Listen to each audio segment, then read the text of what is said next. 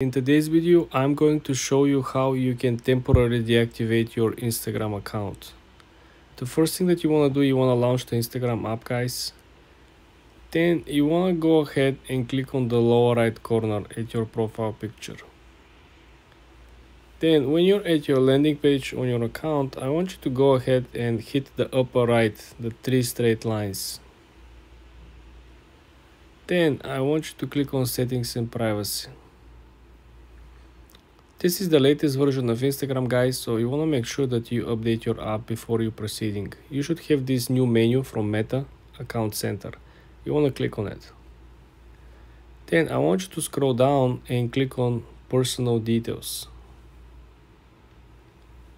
When you hit Personal Details, I want you to go ahead and click on the last option, Account Ownership and Control.